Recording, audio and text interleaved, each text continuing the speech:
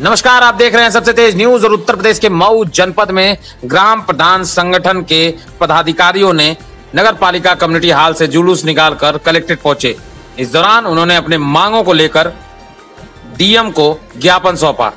ग्राम प्रधानों की मांग थी कि स्वच्छ भारत मिशन के तहत शौचालय बनवाने के लिए उन्हें जो पैसा दिया जाता है, वे उस पैसे को लाभार्थियों को दे देते हैं। इसके बाद उनकी क्या ज़िम्मेदारी है, आखिर वो पैसा कैसे खर्च करवाएँ?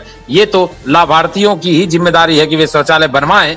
इसके बावजूद प्रदेश सरकार और मऊ जिला प्रशासन द्वारा उनको नोटिस जारी किया जा रहा है और उन्हें, उन पर कार्रवाई करने की बात कर रही है।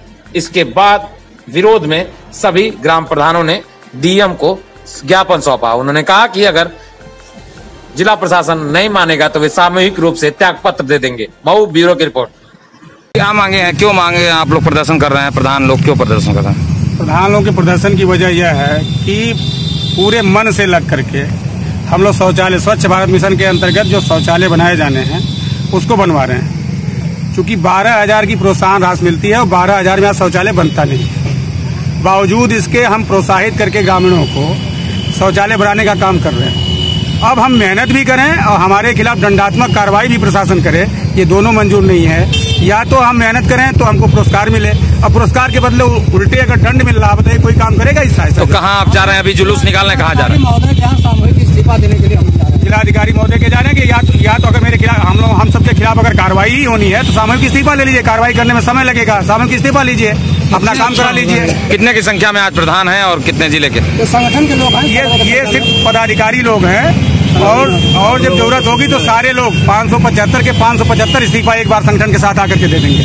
धन्यवाद। क्यों लग रहा है कि शासन आपके साथ शासन ने शासन ने प्रधानों को नोटिस जारी कर दिया। लाभार्थी के खाते में पैसा दे रहा है। लाभ पैसा जो देखिए प्रक्रिया क्या होती है। हम वहाँ से बारह हज़ार की राशि को जो है लाभार्थी के खाते में देते हैं। लाभार्थी को पैसा हम जब लाभार्थी को दे दिए तो क्या हमको कोई अधिकार है कि लाभार्थी से काम करवा लें? अगर हम पाँच सौ रुपये मेरे पास पड़ा हुआ है वो हमारे पास जब तक रहेगा तभी तक हमारा है। अगर हमने आपको दे दिया, आपके हाथ में चला गया तो आपका हो गया। अब आपकी मर्ज़ी, आप जैसे उस पैसे का आरोप ये है कि प्रधान इसमें स्वच्छ भारत मिशन में सहयोग नहीं कर रहे थे। सेक्रेटरी से लेकर प्रधान तक फर्जी जो- जो शौचालय बनने थे उसको बनवा दिया।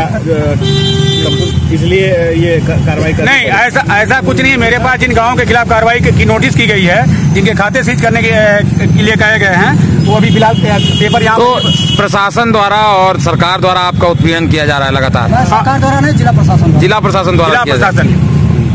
पूरे योगी सरकार को चार साल हो गए। स्वच्छ भारत मिशन पहले से भी चल रहा था। सिर्फ़ चार महीने में दो अक्टूबर 2018 तक स्वच्छ भारत मिशन को लागू करना था पूरे देश में कि स्वच्छ भारत रहे। लेकिन प्रधान और सेक्रेटरी की वजह से आज तक एक शौचालय भी ढंग से नहीं बन पाए हैं। बिल्कुल सही करें बिल्कुल क्यों नहीं नहीं बात आपकी बिल्कुल सही है। कि कार्रवाई प्रशासन क्यों न करे?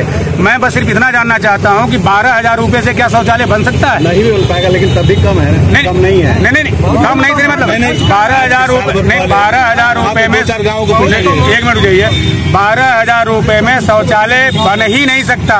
वो तो हम सब जो हैं जो शौचालय बन रहे हैं वो प्रोत्साहित करके बनवा रहे हैं। अभी आप अभी आप कहाँ जा रहे हैं? अभी हम लोग जा रहे हैं चूँकि जिलाधिकारी से मिलने। जो ठीक संगठन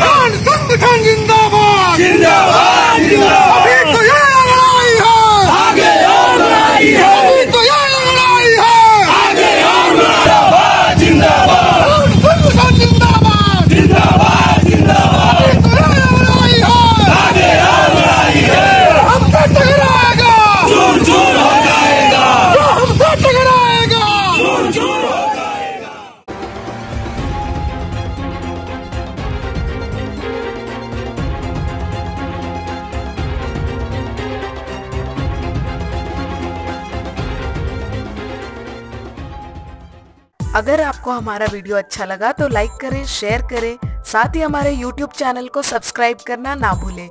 लेटेस्ट वीडियो अपडेट के लिए घंटी बटन दबाएँ।